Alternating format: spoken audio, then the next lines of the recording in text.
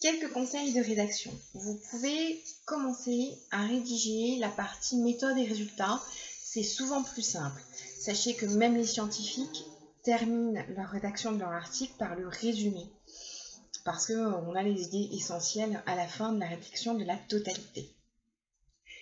Si vous butez sur un passage que vous ne comprenez pas très bien, n'hésitez pas à solliciter les relecteurs pour échanger avec eux sur le sens de ce passage ça vous évitera quelques déboires.